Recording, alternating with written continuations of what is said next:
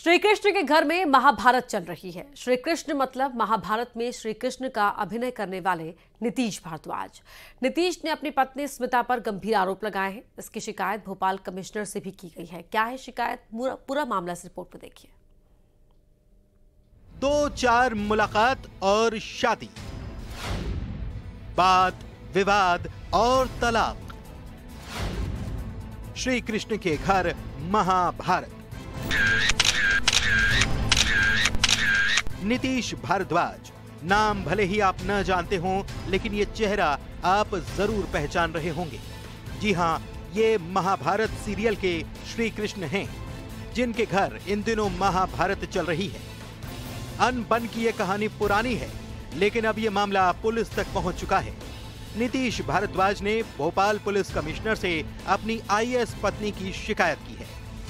शिकायत में कहा गया कि पत्नी बेटियों से मिलने नहीं दे रही है। फ़ोन नंबर ब्लॉक कर दिए हैं। भोपाल के स्कूल में छह महीना, ऊटी के स्कूल में साढ़े चार महीना। इससे एकेडमिक करियर उनका अनस्टेबल हो जाता है। वो कहीं पर भी स्टेबल नहीं रह सकती बेटियाँ। आपने जिस तरह से उनका मानसिक संतुलन बिगाड़ा है, झूठ झूठ बोल के ये जो किया है, उसका साइकोलॉजिकल इम्पैक्ट उनके ऊपर हो रहा है। और ये आपको नहीं करने के लिए मैं पचासों बार लिख चुका हूँ उसके बावजूद दो मेल्स के बावजूद आप you are answerable to me police commissioner का कहना है कि ये फैमिली विवाद का मामला है और मामले की जाँच जारी है। इस संबंध में एक शिकायत प्राप्त हुई है और पुलिस उस पूरे मामलों के तथ्यों की जाँच कर रही है। सभी का किसे सौंपा गया सर? कौन जाँच कर रहा है सर?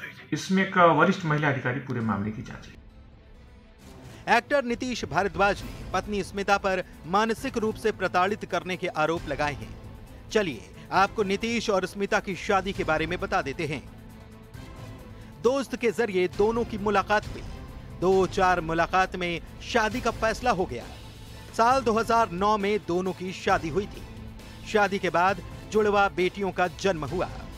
आईएएस अधिकारी हैं पत्नी स्मिता गाटे। पत्नी वर्तमान में भोपाल में हैं कार्यरत। अपर मुख्य सचिव के पद पर हैं स्मिता। एक्टर नीतीश भारद्वाज ने पत्नी पर गंभीर आरोप लगाए। फ़िलहाल दोनों के बीच चल रहा विवाद फिर से सुर्खियों में आ गया है और पुलिस पूरे मामले की जाँच की बात कह रही है। Bureau report, news eighteen.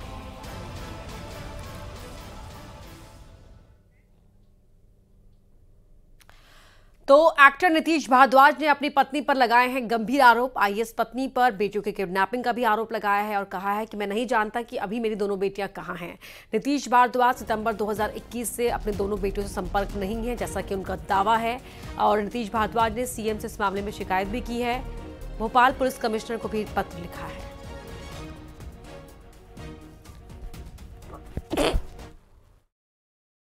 Bhopal police commissioner से हमको ये भी नहीं पता कि आज मेरी बेटियाँ हैं कहाँ, क्योंकि भोपाल से निकाल के ओटी में डाल दिया था। अब ऊटी से निकाल के उनको कहाँ डाल दिया है? वो किस स्थिति में है? उनको जितने झूठ झूठ बोले गए हैं, उनकी मानसिकता पर विपरीत परिणाम हो रहा है। तो ये सारी चीज़ों को देखते हुए हमने कंप्लेन किया है भोपाल पुलिस कमिश्नर मिश्रा जी से। कि एक तरह से ये मेरी बच्चियों का अपहरण है और साथ में उनका मानसिक और आ, मानसिक और आ, आ, जिसको हम वहीं राज्यसभा चुनाव के लिए आज मध्य प्रदेश में उम्मीदवारों ने नॉमिनेशन फ़ाइल किया। बीजेपी के चारों प्रत्याशियों ने विधानसभा में नामांकन किया। सीएम डॉक्टर मोहन यादव भी इस दौरान मौजूद रहे। पूर्व सीएम शिवराज सिंह चौहान और प्रदेश बीजेपी अध्यक्ष वीडी शर्मा समेत कई दिग्गज इस मौके पर मौजूद रहे।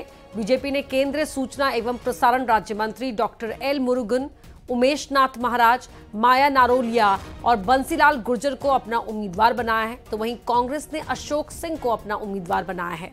प्रदेश में राज्यसभा की कुल पाँच सीटें हैं, जिन पर इलेक्शन होना है। इनमें से चार बीजेपी को और एक कांग्रेस को मिलने लगभग तय है। मतदान सत्ताईस फरवरी को होगा।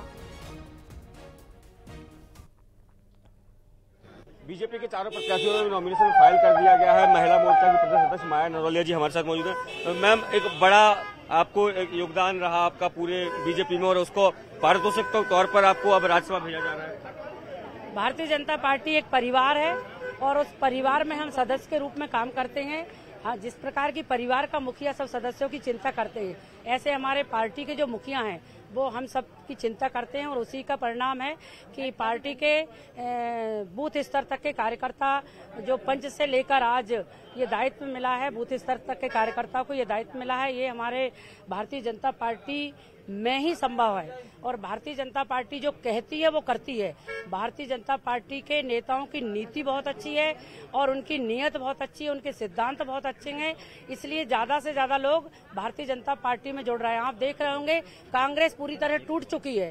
कांग्रेस के लोग प्रतिदिन भारतीय जनता पार्टी का दामन थाम रहे हैं।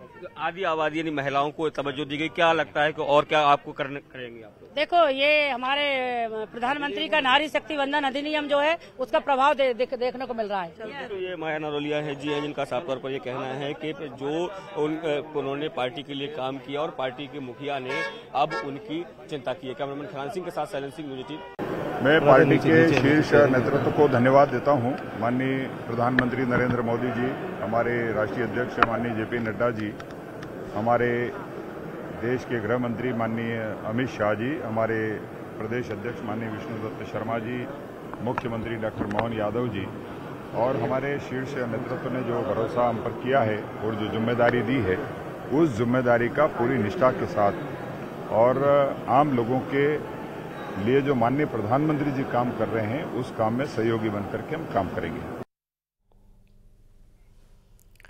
राज्यसभा के लिए अशोक सिंह ने नामांकन फ़ाइल किया है। कांग्रेस ने अशोक सिंह को प्रत्याशी बनाया है और इस मौके पर अशोक सिंह ने वरिष्ठ नेतृत्व का धन्यवाद किया और सिंधिया को लेकर कोई भी बयान देने से इनकार कर दिया। कहा कि आरोप प्रत्यारोप की राजनीति नहीं करता हूँ। प्रत्याशी के तौर पर अशोक सिंह ने अपना नामांकन दाखिल कर दिया है। वो अब विधानसभा से बाहर निकलना है। वो हमारे साथ मौजूद कार्यकर्ताओं के साथ मेल मुलाकात कर रहे हैं। उनसे बात करेंगे। भाई साहब नॉमिनेशन दाखिल हो गया है और अब चूँकि एक ही नॉमिनेशन है तो फाइनल माना जा रहा है कि निर्विरोध होगा, किस तरीके से? मैं मध्य प्रदेश प्रदेश के देश के सभी वरिष्ठ नेता आदरणीय सोनिया गांधी जी, आदरणीय राहुल गांधी जी, आदरणीय प्रियंका जी, आदरणीय खड़गे जी, प्रभारी महासचिव हमारे भंवर जितेंद्र सिंह जी और प्रदेश के सभी वरिष्ठ नेताओं पीसीसी चीफ सीएलपी लीडर और सभी वरिष्ठ नेताओं का आभार व्यक्त करता हूँ। इन्होंने ये विश्वास व्यक्त किया है कि मैं इस पद के योग्य हूँ लेकिन जिस तरीके से तमाम जो नेता हैं उन्होंने कहा कि चंबल को एक सेट दिया जो सिंधिया के खिलाफ खड़ा होगा क्या लगता है व्यक्तिगत आरोप प्रत्यारोप की राजनीति में मेरा विश्वास न कभी रहा है न रहेगा। हम कांग्रेस की नीतियों पे काम करते आए हैं और करते रहे धन्यवाद सर अशोक सिंह जी इनका साफ़ तौर पर कहना है कि व्यक्तिगत तौर पर कभी आरोप प्रत्यारोप की वो राजनीति नहीं करते हैं। कांग्रेस की जो रीति नीति उस पर वो काम करेंगे। कैमरा खान सिंह के साथ सैलन सिंह न्यूज़ भोपाल। वहीं नर्मदापुरम जिला पंचायत अध्यक्ष राधा सुधीर पटेल समेत कांग्रेस के कई नेताओं ने बीजेपी ज्वाइन कर ली। भोपाल में बीजेपी दफ्तर में प्रदेश अध्यक्ष विष्णुदत्त शर्मा की मौजूदगी में राधा सुधीर पटेल ने कई कार्यकर्ताओं के साथ बीजेपी की सदस्यता ली। राज्यसभा सांसद, प्रत्याशी और बीजेपी महिला मोर्चा प्रदेश अध्यक्ष माया नरोलिया, बीजेपी जिला अध्यक्ष माधवदास अग्रवाल और बीजेपी जिला प्रभारी सीमा सिंह भी इस मौके पर मौजूद रहे।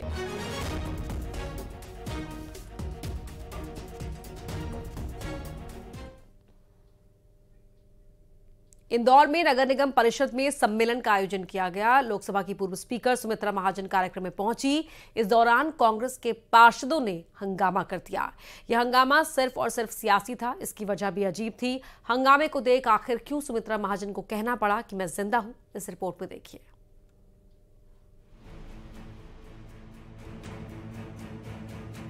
सुमित्रा महाजन के नाम पर कांग्रेस राजनीति कर रही है। और बीजेपी पर महिलाओं के अपमान का आरोप लगा रही है। इस बीच सुमित्रा महाजन को कहना पड़ा कि मैं अभी ज़िंदा हूँ।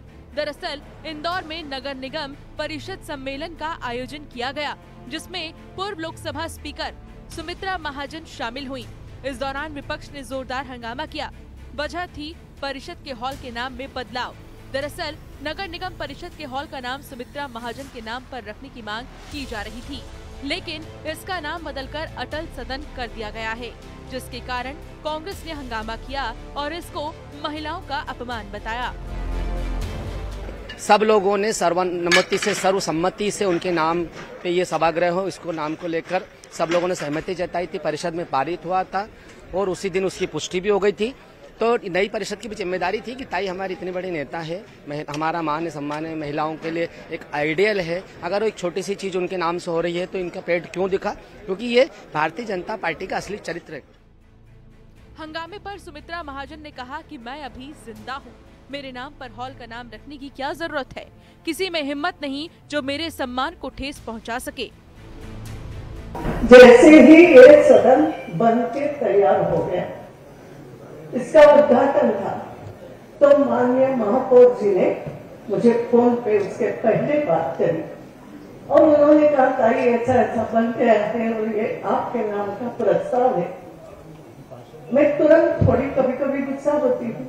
जब प्रस्ताव हुआ था, तब भी आपको बताती हूँ, जो उस समय के पार्षद मुझे बताने के लिए आए थे, उन पर भी मैं गुस्सा हुई थी। अरे, मुझे पूछते तो सही, मैं अभी ज़िंदा हूँ।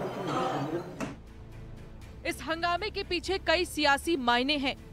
पिछले कई दिनों से इसे ऑफ़र पॉलिटिक्स से जोड़कर देखा जा रहा है, जहाँ सुमित्रा महाजन को कांग्रेस में शामिल होने का न्यौता दिया गया था। साथ ही इंदौर से लोकसभा प्रत्याशी बनाए जाने की भी बात कही थी। कांग्रेस इस तरह हंगामा और बयानबाजी कर सुमित्रा महाजन के ज़रिए सियासत कर रही है। इंदौर से मिथिलेश गुप्ता, न्यूज़ 18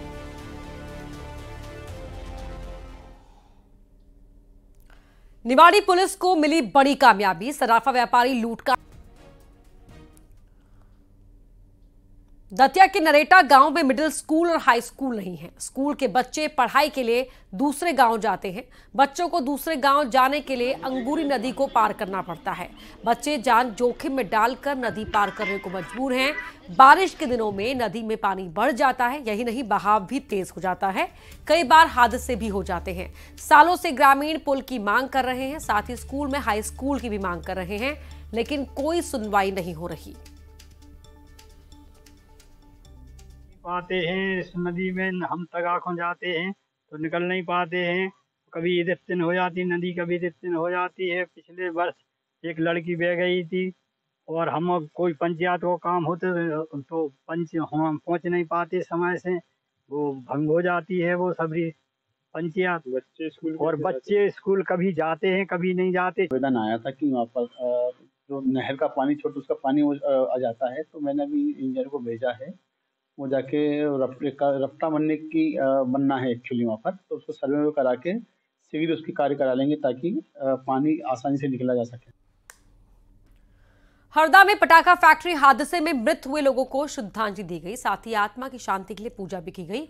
पटाखा फैक्ट्री में विस्फोट के बाद तेरह लोगों की जान चली गई जबकि कई लोग घायल हुए थे।